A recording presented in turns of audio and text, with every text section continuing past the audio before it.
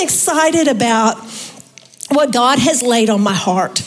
And um, a few a couple of months ago I, I mentioned to him i said there's a there's a verse that god has laid on my heart that i would like to share if you would like me to do one of your messages during christmas season and so he he agreed he always does if i ask that because i don't ask that but a couple of times a year and the the verse that's on my heart and the the title of my message today comes from the passage in Luke. And the title of my message today is Favored.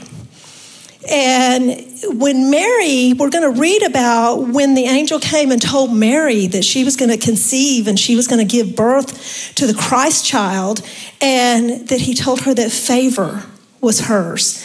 And so we're going to understand a little bit about what that meant at that season and, and how God put that favor on her life. The, we'll start in uh, Luke 1, verse 26 if you have a Bible or a device that you'd like to follow along with, I use a device because I can enlarge the print on the device. Anybody with me?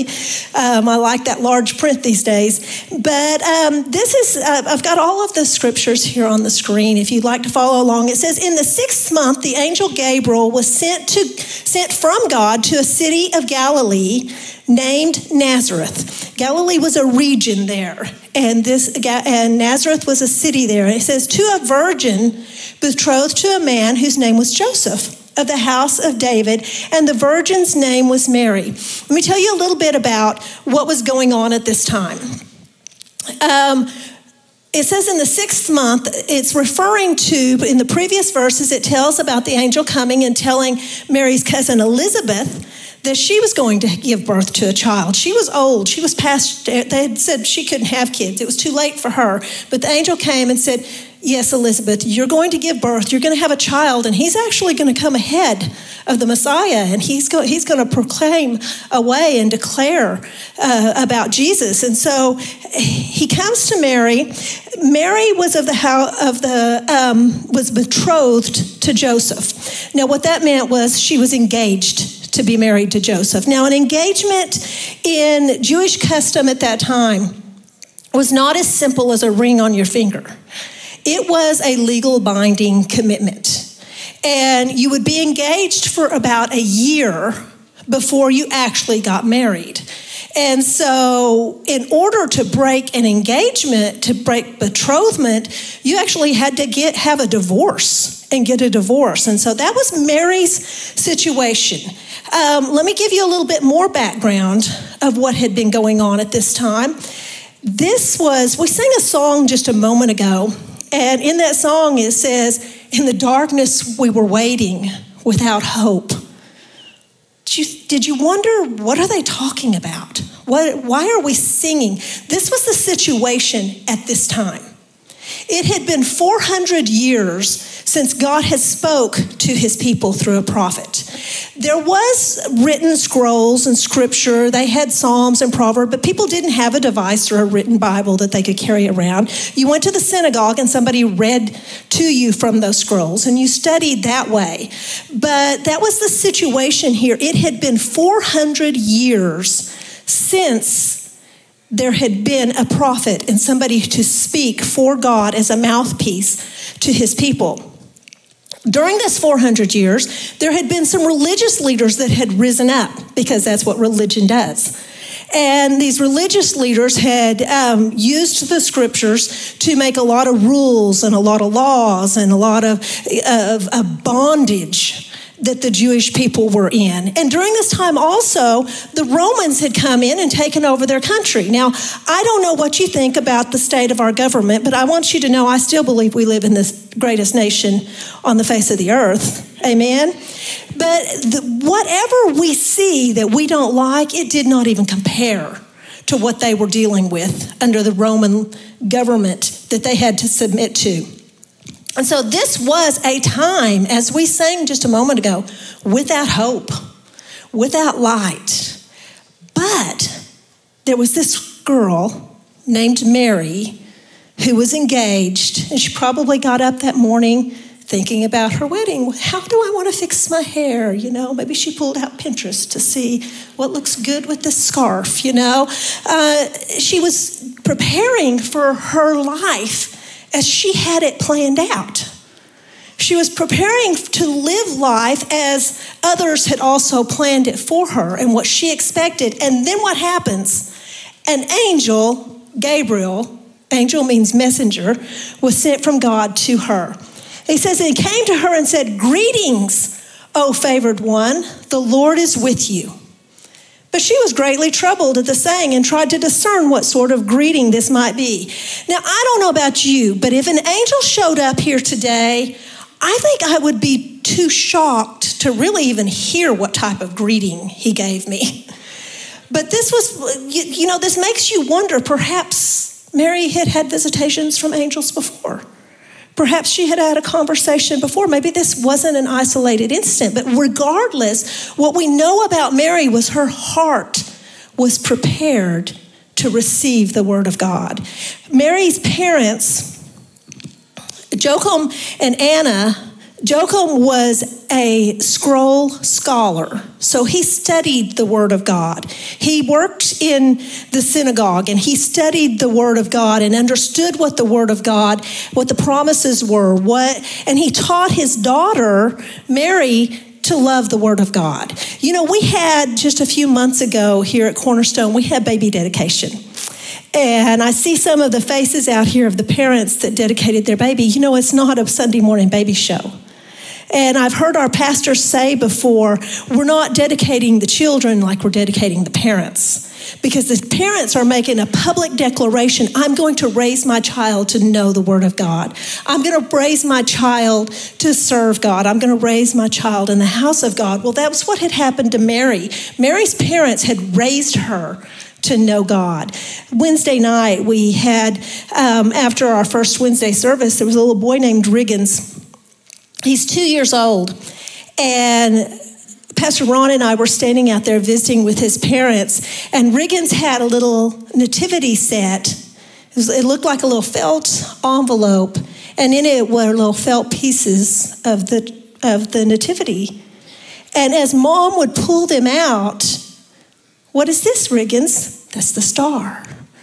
This is Joseph. This is Mary. You know, that doesn't happen by accident. Too many kids now know more details about the elf on the shelf than they do the baby that was in the manger.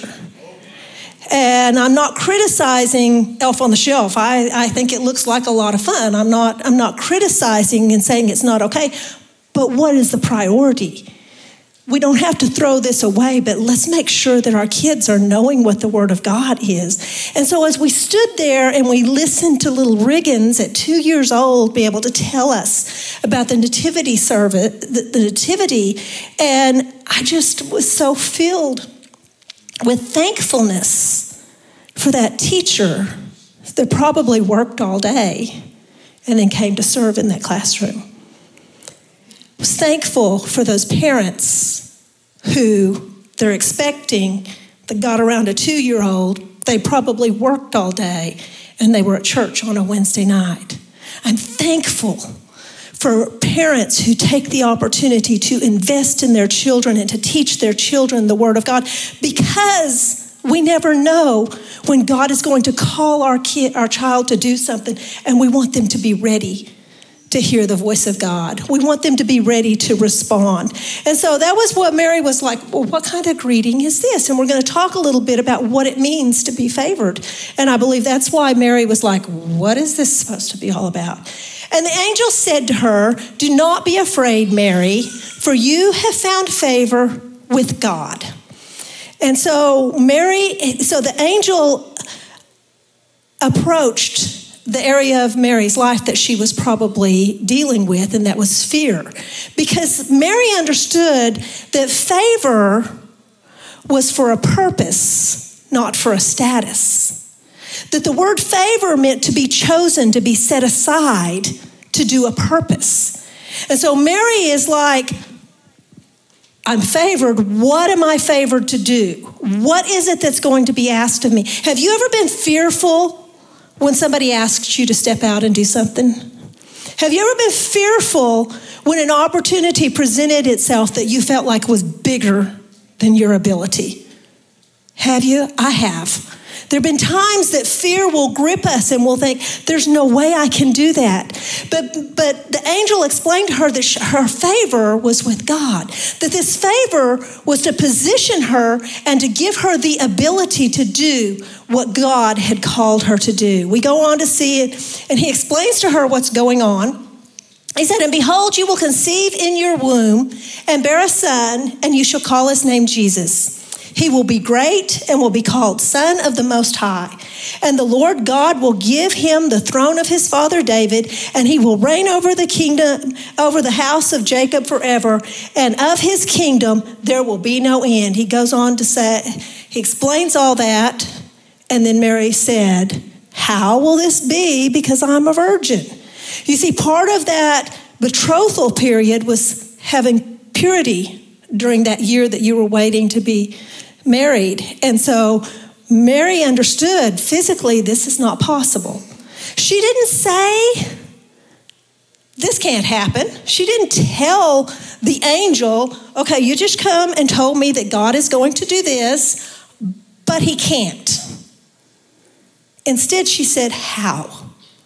You know, perhaps there are times when God asks us to do something, and rather than we say, I can't, we say, God, how? How are you going to equip me to do what I've called, what you've called me to do? And so the angel went on and explained to her, the Holy Spirit will come upon you, and the power of the Most High will overshadow you. Therefore, the child to be born will be called Holy, the Son of God.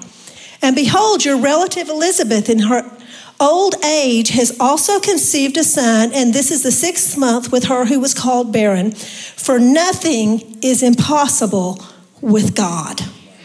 The angel came to her and explained what she was concerned about. There's no ability to do this, and God and the angel explained to her, it's not impossible with God. You know, there's so many things in our life that are impossible in our own ability. There are so many things that God might call us to do that there is no way we can do it, but nothing is impossible with God. And Mary said, and this is my favorite verse of this Behold, I am a servant of the Lord. Let it be to me according to your word. And the angel departed her. That's my favorite verse because that's something that I want to see all of us be willing to do. To not tell God what can't happen, what we can't do, or what we aren't willing to do, but to say, God, just do in me what you want to do. God, I am yours. I am your servant. I want to make myself available to you. What would you have me do? And so I'm going to break this down just a little bit more, and we're going to talk about this. It says, we're backing up to verse 30, and the angel said to her, Don't be afraid, Mary, for you have found favor with God, and behold, you will conceive in your womb and bear a son, and you shall call his name Jesus. Luke was a doctor, so he thought he needed to explain to Mary where you're going to conceive this baby. You know, it's going to be in your womb. I don't know what other option there might have been, but Luke was Luke was making sure that we understood that. But the, that the angel said to her, Do not be afraid. You know, sometimes there are things that God might call us to do that are going to turn our life upside down. That we may have plans, we may have goals, and God may come along and say, I want to do something completely different. This is what happened with Mary. Her life was being turned upside down, excuse me.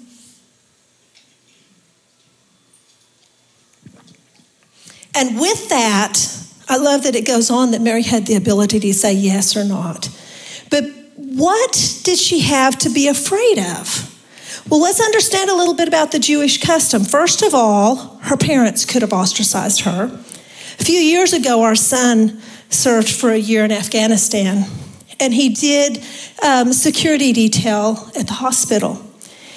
And he called us one time and he said there was a nurse that had been raped by the doctor. And he said, We won't see her again. And here's what you have to understand about her. And he had developed a relationship. He knew this woman. He said, What you have to understand is her life is over. Her family will throw her aside. She's lost her job. She's lost everything. And this doctor has lost nothing. And it was very upsetting to see, well, we were, that's the Middle East, and this was Middle East, and that's what could have happened to Mary. She could have had her parents cast her aside.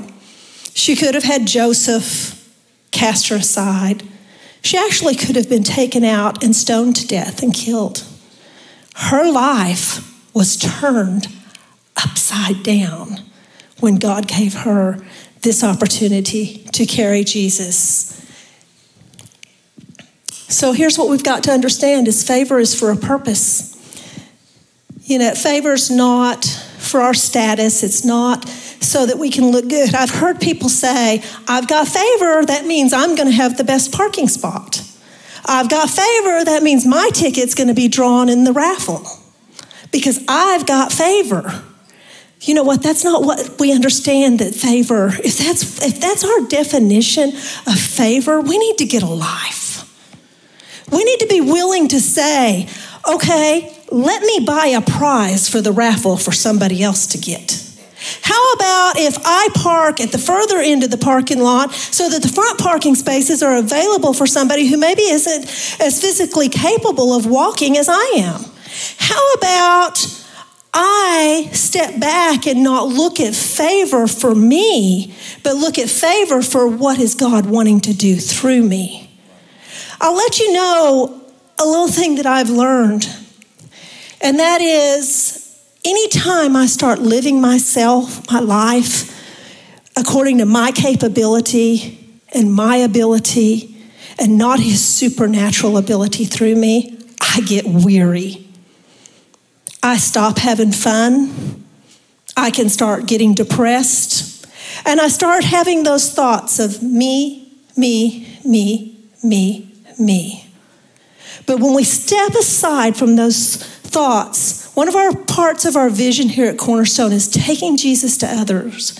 And when I step aside and I think it's not about me, it's about others.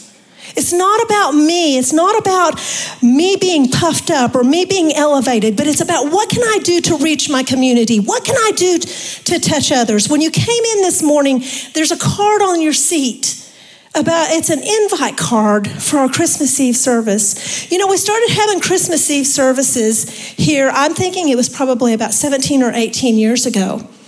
And you know what? The reason we started having Christmas Eve service was not because we weren't busy enough in, in December and we needed something else to do.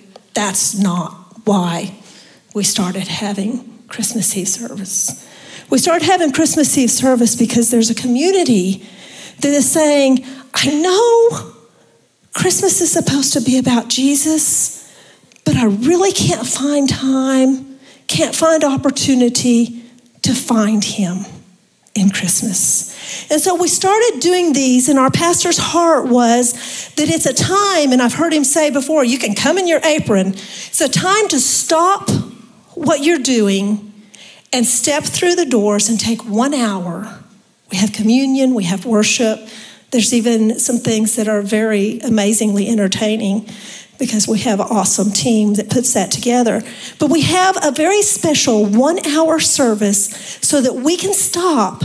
Because how would you feel if it was your birthday and everybody kept throwing a party and didn't invite you to be a part of it? But this is our opportunity to stop and say, okay, I have had what we like to create it here at Cornerstone a moment with God. And I want to let you know that God moments don't only happen when we're in this auditorium. God moments happen in those classrooms. God moments happen on the golf carts. God moments happen standing in the lobby, introducing yourself to a new person that was standing there thinking, maybe I should turn and run because I don't know anybody and nobody's speaking to me. Those are God moments when you stop and, and share the love of Jesus with someone right here in your own church. God moments happen when we take that card And we don't just leave it at the table. First of all, we take the card. We don't just leave the card in our seat, but we take the card with us. We don't just go to the restaurant and leave it with a $3 tip when we've had a $45 bill. Okay? We don't do that. If you're going to leave it with your tip, your tip better be 25% or better. Not that that's the standard, but if you're leaving a card to invite them to Jesus, you better be an example of the generosity of our God when you do that. Amen? And so we take that card. What if we take it and we don't just find a place to leave it for somebody to find, but we ask God, show me someone that I need to invite to Christmas Eve service. Show me someone that is searching for you and has no idea where to find you this Christmas. And when I give it to them, I'm not just going to say, hey, by the way, our church is having Christmas Eve service. But maybe I give it to them and I say, we're having three services on Christmas Eve. I'd love for you to come with me. Which service would you like to be at? Because I want to be there and sit with you. Or better yet, I'd like to pick you up. Or maybe I'll take you to lunch. Or maybe you come to our home and celebrate with our family. But perhaps we use that card to actually have a God moment when we invite someone to come and be a part and invite them to be with you because it's hard to walk through the doors alone. Perhaps this Christmas, you're thinking, I'm alone. There's nobody that knows me. I'm, I'm, I'm going to not have anything to do. Maybe it's time for you to go find somebody and you create that moment with them so that they don't have that loneliness. God is calling us to step out of our comfort and to have favor for a purpose of making an impact in our community, in our family, in our place of employment. The other thing I want us to understand is that we don't have to fear obeying God.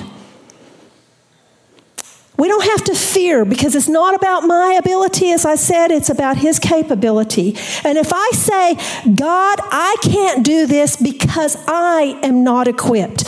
God, I am not, I can't do this because I don't have that ability. God, I can't do that, this because I don't have those resources.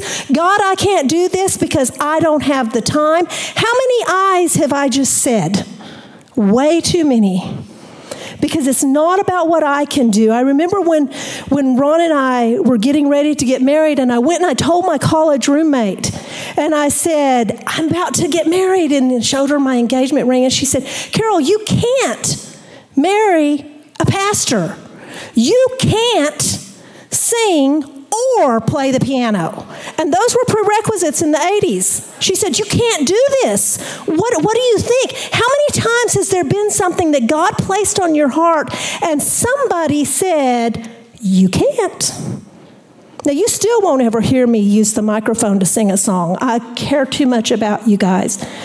But 37 years of being a pastor's wife, God makes us capable of doing what He has called us to do. And we need to be willing to step out in faith with confidence, boldly declaring, It ain't about me, it's about Him. Amen. What does He want to do? Don't be afraid because if I'm afraid and if I say I can't, I can't, I can't, I can't, isn't that pride? Because that's pretty much saying that my inability is bigger than my God, and it's not. We serve a big, big God. The next thing I want us to focus on is that nothing is impossible with God. That, and I had her capitalize the word with because that verse doesn't say nothing's impossible for God. Well, everybody knows that. But nothing is impossible with God. Nothing is impossible when I'm willing to step out with God and trust Him to work through my life. Nothing, that's the verse 37, nothing is impossible with God. I've got some names of some people on here that had situations in their life that seemed impossible. Seemed pretty impossible. These are all out of the Bible. The first one is Noah. Okay, what did Noah do? Noah built a boat in the desert. There wasn't even a river there. He didn't build a little boat that you could dig a pond and go out there and float on. He built a gigantic ark that would contain all the animals that would keep him and his family and all of the animals safe throughout this flood.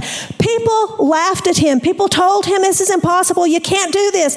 Why are you wasting your time? People ridiculed him. Has there ever been something that you felt like God called you to do, but because somebody said, No, you can't, you shrunk back and didn't do it?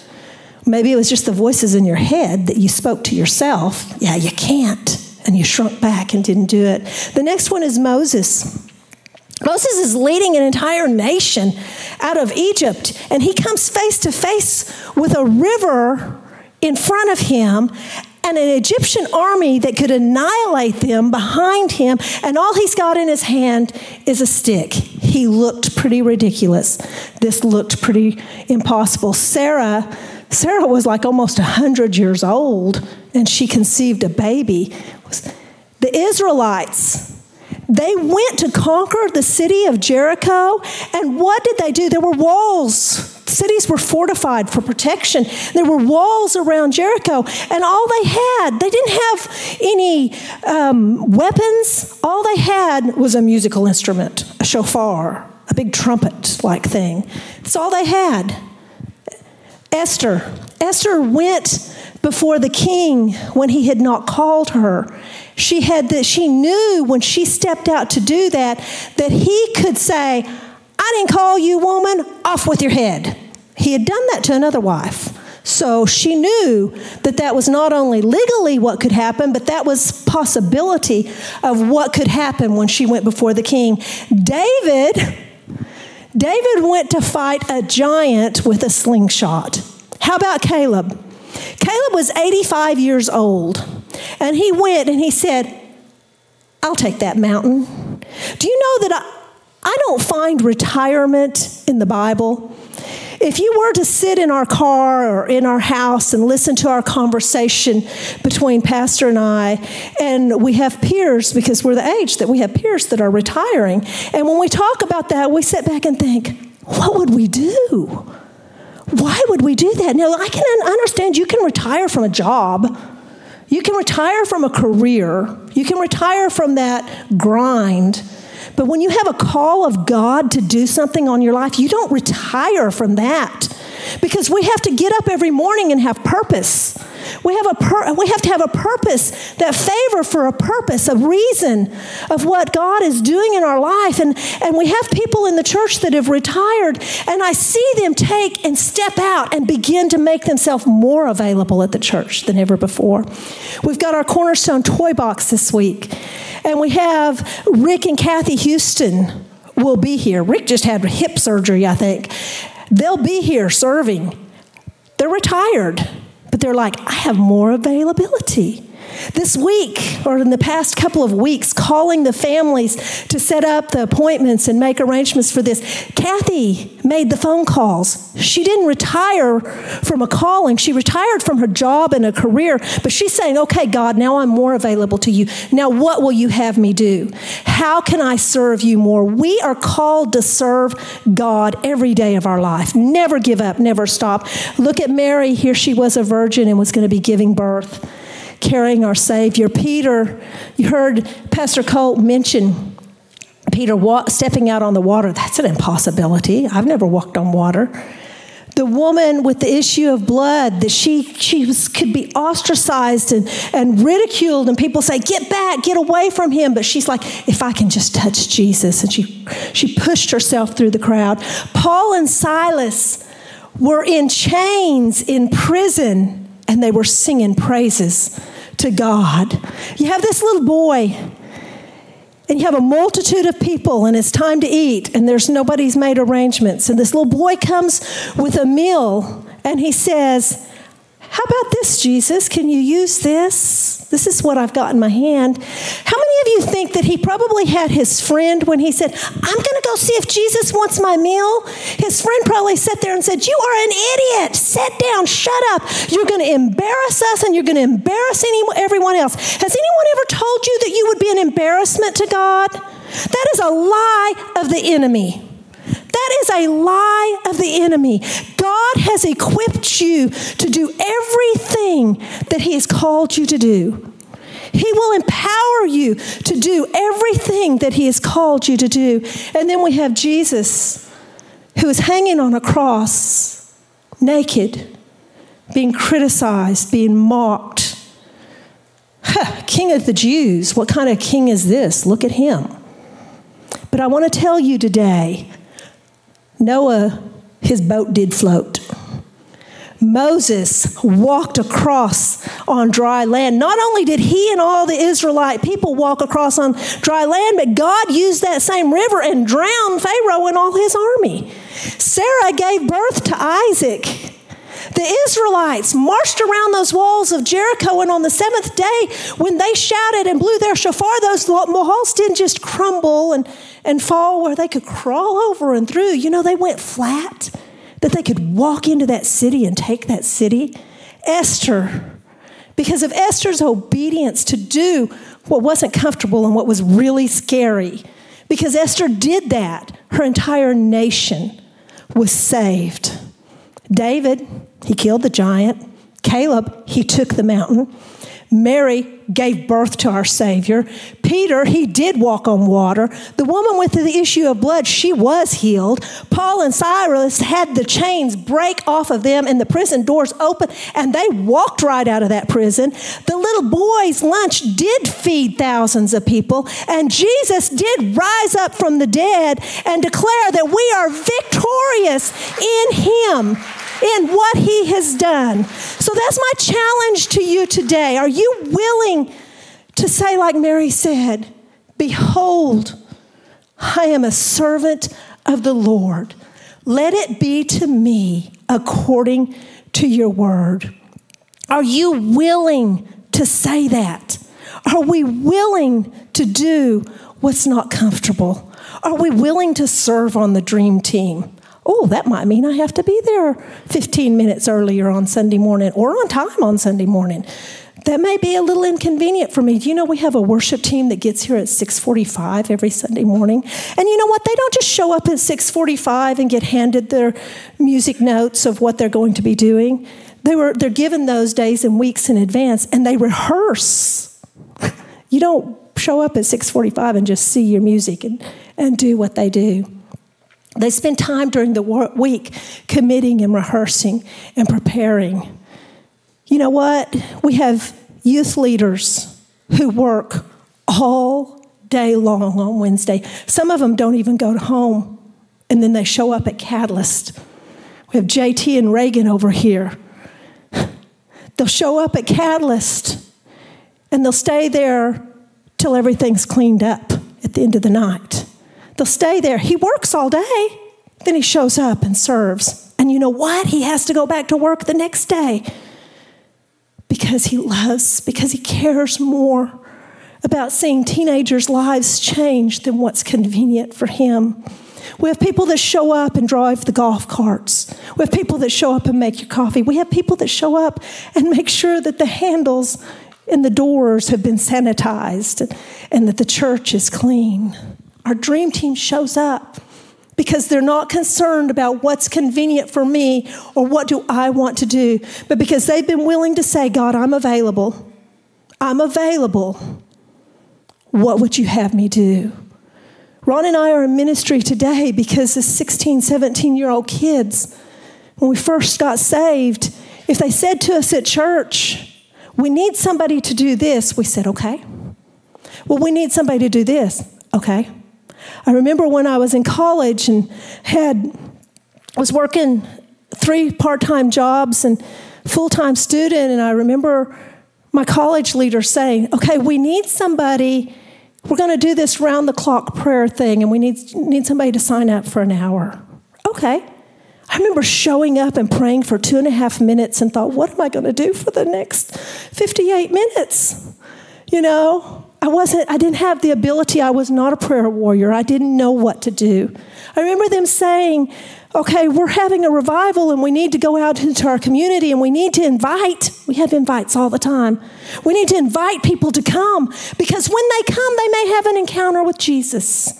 And when they come, they may be changed forever. They even told us don't just go invite them to come. While you're there with them face to face, pray with them if they're ready to receive Jesus. Oh my gosh, that was so scary. But I said, okay, I'll sign up.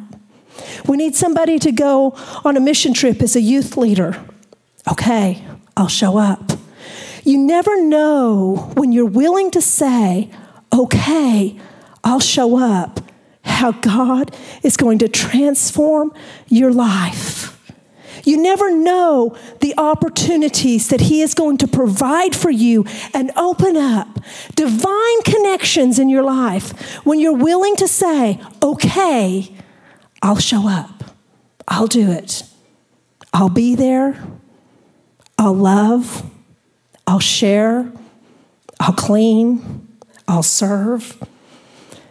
In speaking of that, our, our Cornerstone Toy Box that's happening this Thursday, we have an amazing number of toys out there. It's not too late to be a part of that. This is a beautiful, beautiful vision of our pastor that will do it very, in a very specific way, that all of those toys will be set out. And parents will come just a handful at a time. And they'll get to go through and they'll get to select not one, but two. And depending on the number, we're generous. If they if they see a third one, they're like, I want that. And we're like, we got plenty. We say, okay. They'll get to select toys for their children. And then we'll go and there'll be a team of people that wrap those gifts. And then they'll go and they'll get to sit down with that person that was their host. And that host will have coffee and a cookie or hot chocolate and ask them, Is there anything I can pray with you about? We're loving people. We have 168 children who will have Christmas. Well, then the parent gets to take that wrapped gift home, and it doesn't say cornerstone anywhere. The parent gets to give that gift to their child, say, This is from us, because we want the parents to be the heroes at Cornerstone, not corner at Christmas, and not Cornerstone be the heroes. We want those kids to know our parents were able to do something for you. So we have an opportunity. If you want to sign up and be here, we still have some slots that we need people that will wrap gifts. We need people who will um, host the families. We ha- there are still opportunities. But be willing this year at Christmas to ask God, what would you have me do? Perhaps when you're standing in line to buy something for yourself, and the person in front of you is a grandmother who's having to decide which things is she going to put back because she can't afford them. What if I chose to put my things back and buy her things for her? What if this Christmas we said, like Mary, I'm a servant of the Lord? What would you have me do, Jesus? Because we have been favored, and we're favored means we're chosen. Does it mean we are supposed to have the best of everything? But we are chosen for a purpose, and we are never more like Jesus than when we are giving and forgiving. And I want to ask you to stand at this time. And I'm going to pray, and then Pastor Colt and his team is going to come out, and they're going to lead us in a song, I Will Build My Life Upon Your Word. And I want to ask you, as we're singing this song, ask God, God, what am I supposed to be doing? What more am I supposed to be doing? What am I supposed to be eliminating?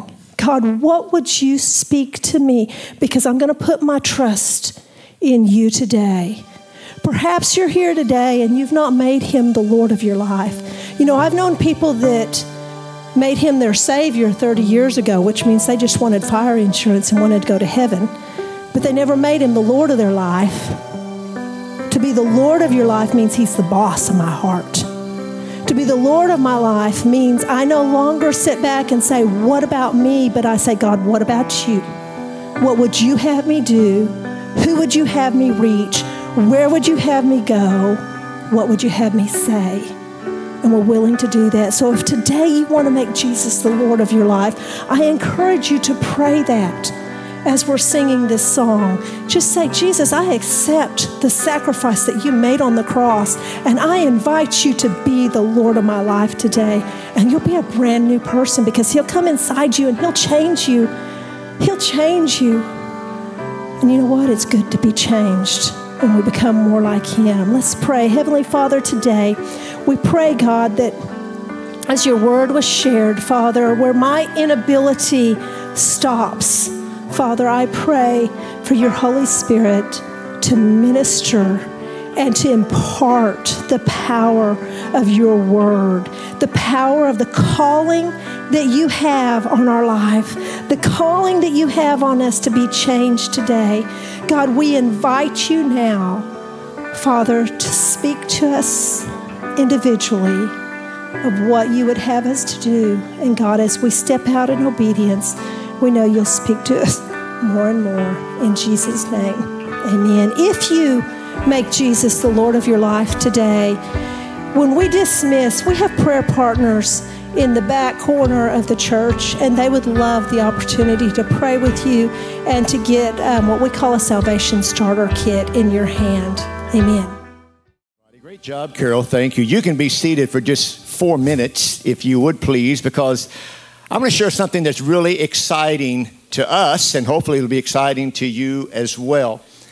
And uh, one of the things that we're going to be doing in, in the not too distant future, just down the road, is that we are going to launch a third Sunday morning service. Now, I got to tell you, we're pretty excited about that. And the reason we're doing that, here, here is why. Every church growth expert, every statistician, every pastor that has grown their church will tell you that when your church is 80% full, you are full. What happens if you don't make choices and do things to expand? Let me give you this example. There are certain fish that when you put them in an aquarium, they will only grow to the size of their environment. And if you don't make room for more people, you will stop the growth of your church. Well, God's been doing some great things in our church over the last year, and we want to make room for more people so that God can continue to do what it is that He's doing. So we're not just going to add a third service, we're going to launch a third service. And in the process of launching a third service, we're also going to relaunch our church. And the reason we want to do that is because I don't want Cornerstone to be Midwest City's best kept secret. I want everybody to know we got a good thing going on here. Amen. And uh, so we want to get the word out every aspect, in every aspect, in every way that we can. So we're going to be launching a third service as well as relaunching our church. Now, when we set aside to do this, we, we, like I said, we talked to our ministry leaders. Last Sunday night, we had about 200 of our dream team members in here that we did a big presentation of why we're doing that, and they were all on board. And, and uh, we wanted to share it on Sunday morning of what we're doing as well. But when we made a decision to do this, we thought, you know, we've got to do this right. We've got to act like we know what we're doing. So we did a staff retreat, went about an hour away to St. Crispin's, beautiful facility there that we rented, and we, we stayed overnight there. And we as a staff began to try to figure out how do we successfully go to three services? How do we do this right? And we stayed up late into the night talking about all the ideas, all the things that we could do, and all, a lot of research has gone on. A lot, a lot, of phone calls have been made, a lot of research on the internet, a lot of talking to other pastors that have been where we are, and they've gone beyond that. So we've had this, all this advice and all of this counsel, plus a very creative staff. So it's about 10 o'clock at night, if I remember right, and we're throwing all these ideas around, and all of a sudden, it's like all of us notice at the same time hold on just a second. God has blessed our church. God has been adding to our church, and we love every person that has come through the doors of our church. What we didn't want to do was we didn't want to dismiss God and say, God, thank you very much, but we've got it from here. You've done your part, now we'll just organize all this stuff. And we realize the reason that our church is growing and that people are coming is because of God. And so we just stopped right there and said, hold on just a moment. Because no matter what we do, we cannot get in God's way. We've got to let God be God and let Him do what He does. So make no mistake about it. We, we know who's large and in charge. Amen. We know what God is doing. So we thought about that, and everybody there just at the same moment said, you know what, that's a God thing. So what we're doing is, as we're launching this, in fact, for you um, that are here today, on your way out, we have a T-shirt for everyone. Stop by and get your T-shirt that just simply says "Because of God." What a great opportunity to just tell people God is up to something. God is doing some incredible things. And we just wanted to create some energy in our church to let you know hey, great job. Thank you for what you're doing because, like I've said so many times, great churches aren't built on great preaching, great churches are built on great reaching. And so, as we kick off this whole effort to go forward, we're going to give you lots and lots of opportunities to invite people to church. We've got all types of events that are going on, and all of these events are evangelistic in nature. We are going to be outreaching. We're going to be reaching out into our community so much in the year 2023, opening the doors and giving you an opportunity to invite your friends in to some really great events, really great things that are going on. We're going to, we're going to make your job easy by saying, hey, man, you got to come check this out. There are some great things that are happening. So when you stop this morning, morning on your way out, get a t shirt. We've got bracelets there that says, Because of God. And all of this is as we relaunch our church and as we add the third service. Now, we won't be adding the third service until March 26th. We knew that it's going to take some time to get all of our ducks in a row and everything lined out. That's two weeks before Easter. We'll have two weeks of a, of a, of a trial run, so to speak, making sure that we can handle the, uh, the, the, the lines. You know, the 80% rule that we were talking about, we're at 70% now in both our services. And uh, our parking lot upstairs, almost almost every week, both services, uh, the par- the upper parking lot is filled, and we have people flowing down to our lower parking lot, 20 or 30 cars parked down there. And so all these things are happening. We realize we, we've got to get systems in place as God adds people.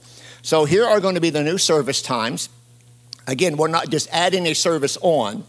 We're totally relaunching everything that we do. Trust me, we spent a lot of time in prayer and conversations and, and working through this. But the new service times beginning March 26th at the church are going to be early service 8:30.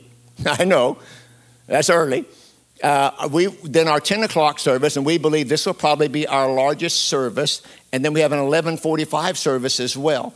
Now, just to let you know that these numbers work, we, we had talked to, uh, I think, Choctaw Baptist Church just down the road.